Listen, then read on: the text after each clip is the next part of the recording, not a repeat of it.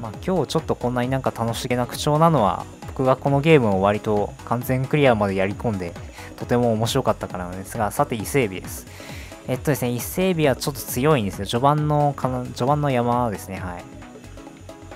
ただちょっと喧嘩を打ってみますか。伊勢海老はね、走行が熱いんだっけあ、そう。まあ、言ってしまえばね、ちょっとね、戦車みたいなタイプなんで、そのね、すごい一気にショットがガーッとくるんで、当たると一気に死にます。はい、どうも皆さん、こんにちは。チャオリンゴと言います。Nintendo Switch で遊べるダウンロードタイトルなどを中心に、本日で実況をしております。YouTube のチャンネル登録やニコニコのフォローなど、良ければお願いいたします。じゃあですね、今日はね、ゲーム画面見ていただければわかるんですが、起動しているゲーム自体は Wii U となります。えっとですね、Nintendo Switch には、えっと、Wii U 自体に配信されていたダウンロードタイトルが、えっと、そのままですね、えっと、Switch で再リリースされているっていう例がいくつかあるんですけど、今日遊んでいくゲームもそんな感じになるので、えっとですね、まあ、えっと、Wii U でも遊べるけど、Switch でも遊べるっていう感じでね、捉えていただければと思います。お願いいたします。じゃあね、ゲームはね、えっと、この一番ね、えっっと、左下なんですけど、えっと、エースオブシーフードというゲームになります。ちょっとですね、これ、ちょっと、あの、魚が何をやってるかというと、これを、ちょっと光線を吐いてるんですけど、ちょっとね、ショップの説明文を読みますね。えっと、遥かな未来の海、人は姿を消し、魚やカニは光線を放ち戦っていた。うん。と書いてありますね。えっと、これはね、ちょっと簡単に言うと、海を舞台にして魚たちが光線とかね、まあいろんなそういうものをね、ちょっと使いながら戦うね、ちょっとそういうゲームなんですが、まあとても個人的におすすめのゲームで、面白いんですよね。その開発会社も含めてとても面白いんで、まあね、ちょっとね、今日は暦的に7月なんですけど、まあそろそろね、海の日も近いなってことで、まあそんな感じで、まあ海産物になりたいなって思う人もね、結構多くなってくる時期かなと思いますんで、今回ね、これ紹介して、紹介していきたいと思います。よろしくお願いします。じゃあちょっとお待ちください。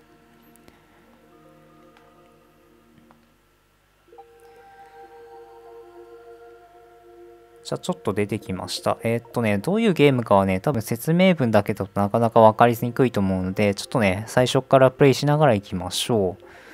まあ今このロード中に少し喋っておくと、えー、っと、まあ始まりました。えー、っと、エースオブシーフードはカニや、あと魚やカニで最大6人のパーティーを編成し、海中を探索しながら様々な生物と戦い、戦力を拡大していくアクションシューティングゲームです。はい、書いてありますね。はい。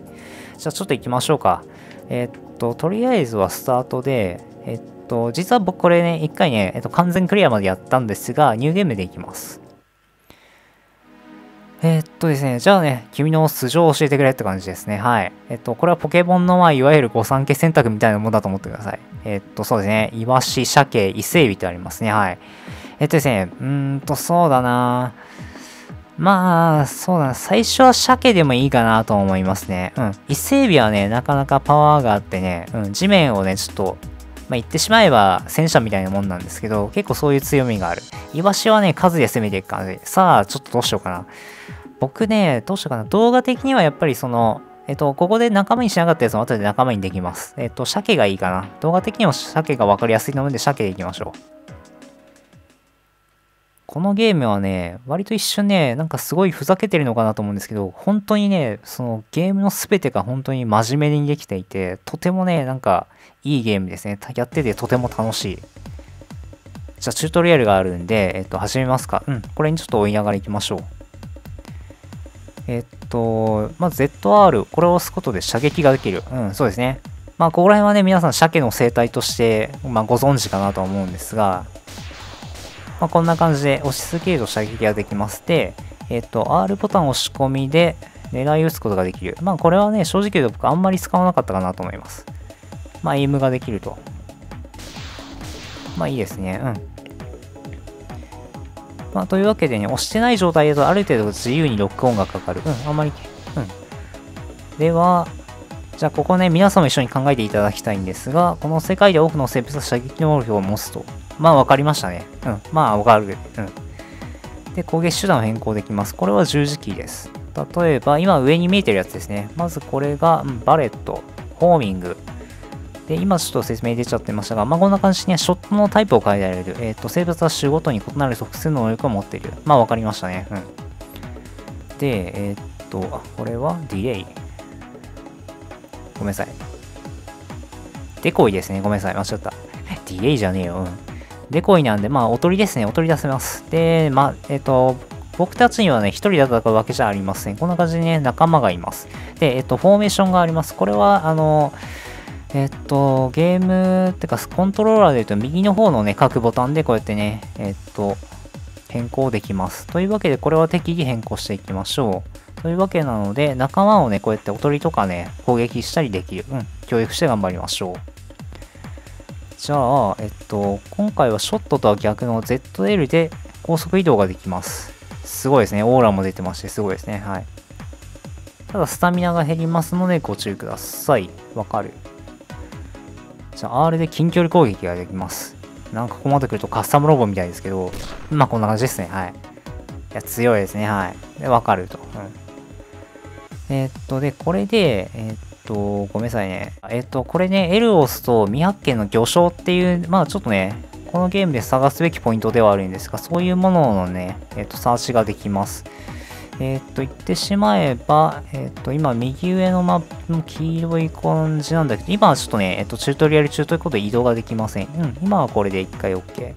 で、えっと、で、マイナスボタンを押す。ここら辺はすいませんね。スイッチでやると多少ボタンの説明違うかもしれないんですが、ご了承ください。で、マイナスでこれがね、うん、使わっていきます。黄色い丸が、えっと、水色の光点が発見済み。黄色い光が未発見の魚礁だと。うん。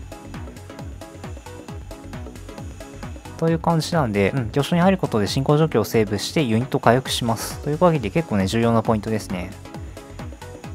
で、未発見の魚礁を確保すると、えーと、資源上限が拡張されますと。ということなので、魚礁をね、多く手に入れるほど、えっとね、まあ、言ってしまえば、群れのね、いろんな種類の魚とかをね、編成できたりするので、うん、まあ最大のキャパシティが上がるみたいな感じでしょうか。うん。OK。じゃあね、新しい魚礁に近づいた際は、うん、こんな感じで表示が出ます。近づいてみましょう。うん。ではね、このちょっとマップの指示に従って、これ結構ね、画面見やすいですね。魚礁はこんな感じで、うん。大体なんとなくわかります。じゃあこれで、ね、天然魚礁、はい、入りましょう。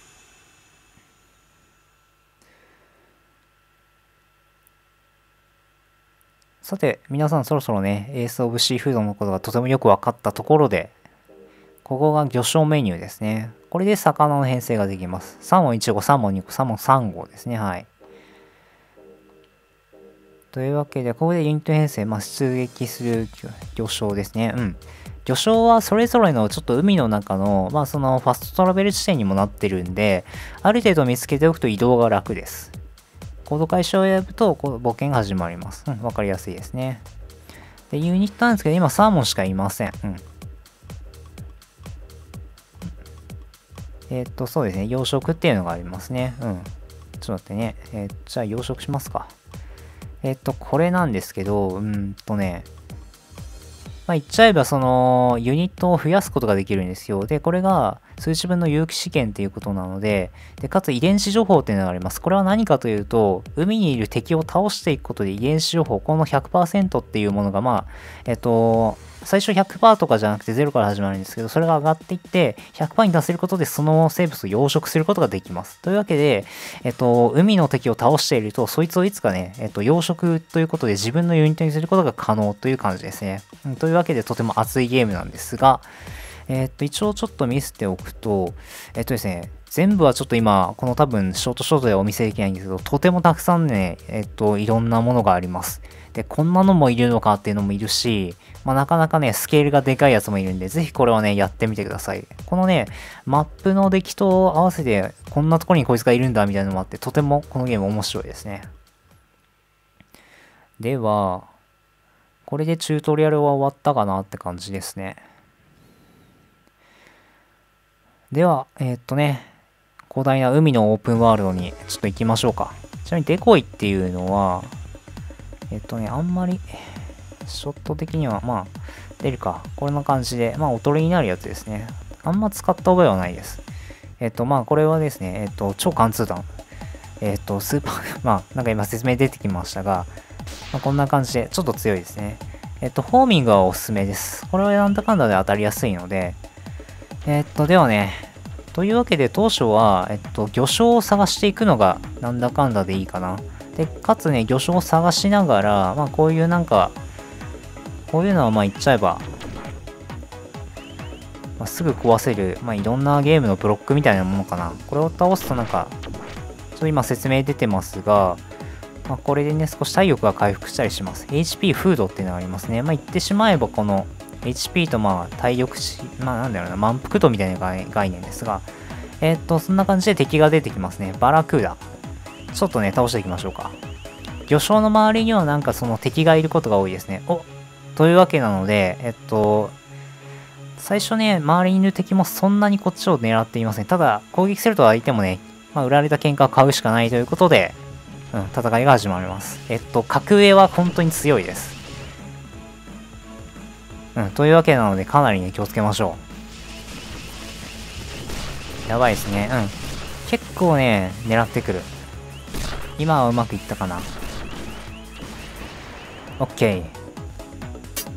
というわけで、バラクーダの遺伝子を獲得したと。まだ作れないかな私はちょっと覚えておきましょう。えっと、魚にはそれぞれね、ちょっと特徴がありますんで、うん。というわけで、これで魚礁です。現代彫刻ですね。入りましょう。これでセーブもされます。えっと、ユニット編成、養殖。ちょっとバラクーダ、今出てますけど50%なんで、えっと、まと、あと50%、多分あと1回かな。あと1匹分倒すと養殖ができるようになります。ごめんなさい。僕、養殖養殖って読んでるけど、繁殖かな。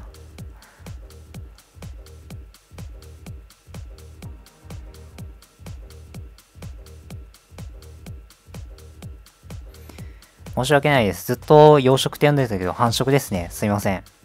ちょっとここら辺はテロップなり、動画説明文なりに書いておきます。じゃあ今入ったところからまた再開しましょう。えー、っとね、とりあえずは魚礁をどんどん見つけていって、かつ仲間を増やしていって、まあ自分なりの戦略とか、まあ強いやつ弱いやつっていうのがそれぞれの魚ごとにいるので、うん、そういう感じでやっていくのがいいでしょうか。えー、っと、ではね、魚礁のサーチをしました。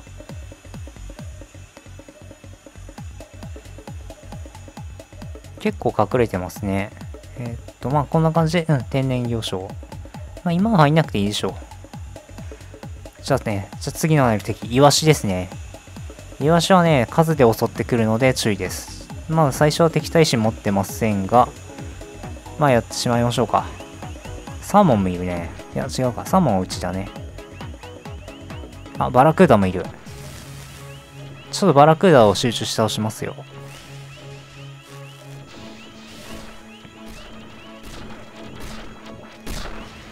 やばいですね。ちょっとサーモンの、うちのサーモンがやばい。あー、ちょっと来てる来てる来てる。あ、だだだだだだ。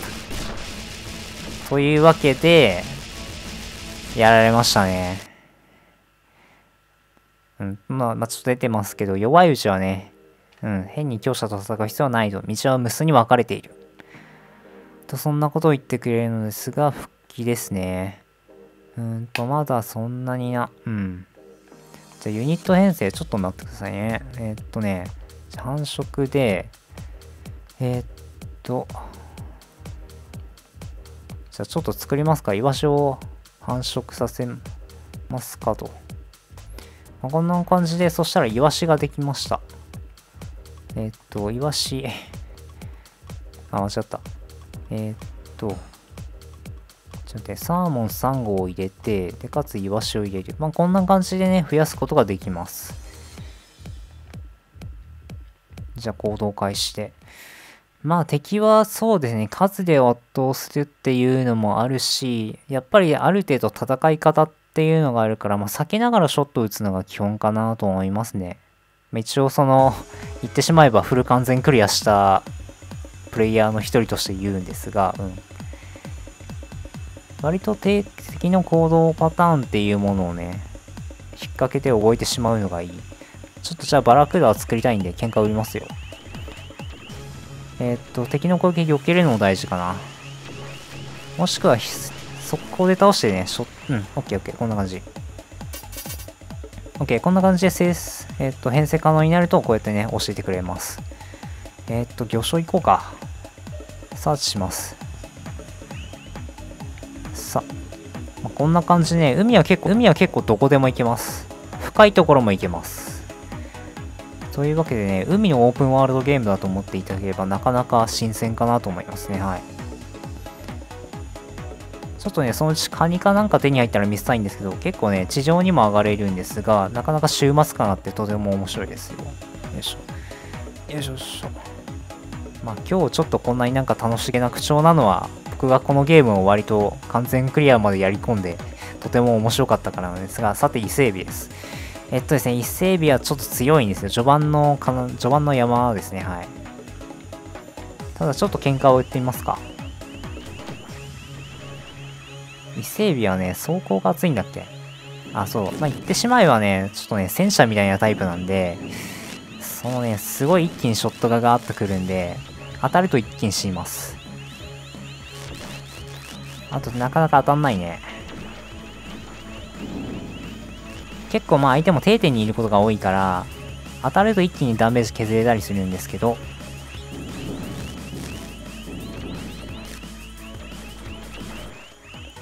オッケー。うん。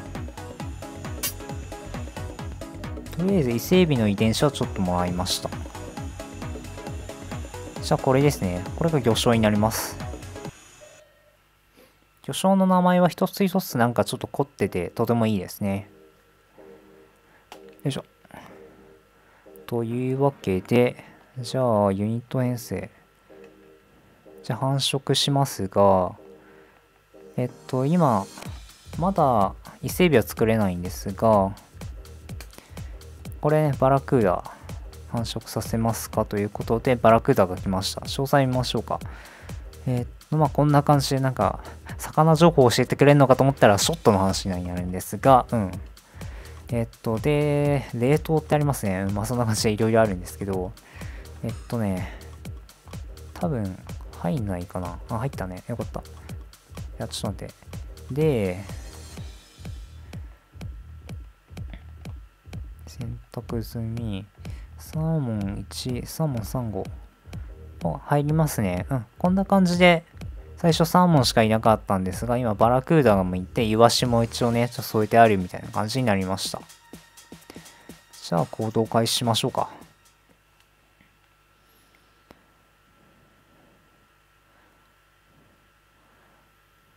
で、確か一番上に編成したやつを操作することになるから、そうですね。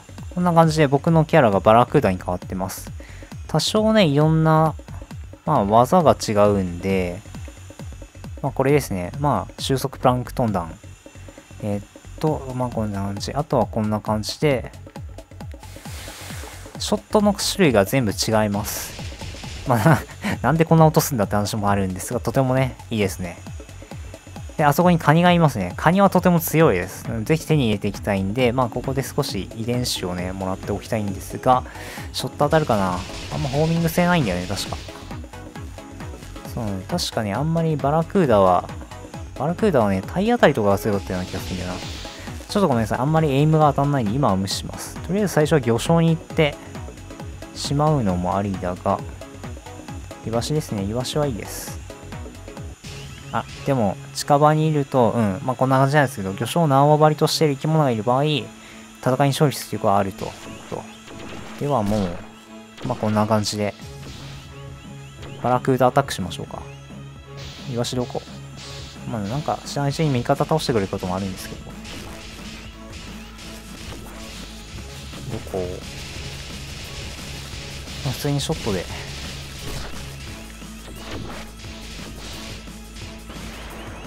よし。イワシが来ましたね。あと1体男。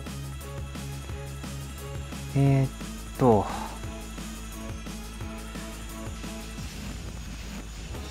いましたね。あとね、このゲームなんか戦闘曲がやたら熱いんですよ。はい。えー、っと、っと、と、と。ここは的確にアタックをしてやってもいい。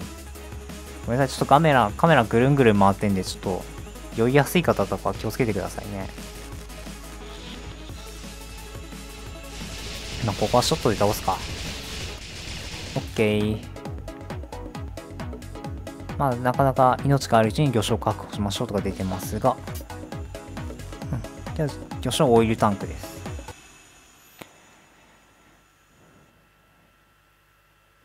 で、魚礁ごとになんか独特のこのね、ちょっと紹介文みたいのがあるんですよ。これがすごい味があっていいんですよね。太古の記録にはイワシがぼ、4万円落ちた。読みたい方はちょっと一時停止推奨です。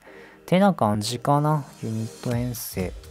えー、っと、やっぱりね、まあ、バラクーダはいて OK。ただ、サーモンもそれなりに使いやすいから、サーモン1号にして、OK でだ、繁殖で、イワシか。うーんと、イワシそんなにいてもしょうがない。うん。当分はこの編成で、まあ、フォーミングが使ってちょっとしやすいサーモンを操作しながら、まあね、ちょっと強いバラクーダを添えてあげてって感じの編成でいきましょう。よし、じゃあね、ちょっとカニとか甲殻類とかもいろいろお見せしたいんですが、初回の導入としては皆さん頭いっぱいになっちゃったかもしれないんで、まあいろんなね、ちょっと面白いゲームっていうか、なかなか楽しいゲームかなっていうのは分かっていただけたかなと思うところで次回に続くって感じにしましょうか。じゃあね、ちょっとエース・オブ・シーフード。まあ、その発売としてはそんな最近とかでもないし、スイッチも確か今月、今年のね、2月ぐらいに出たような、そういうものなんで、まあ、最新のゲームってわけじゃないんですけど、まあ、とても面白いゲームなので、まあ、海の日も近いので、ぜひよかったらちょっとやってみてください。えっと、価格としては1000円ぐらいです。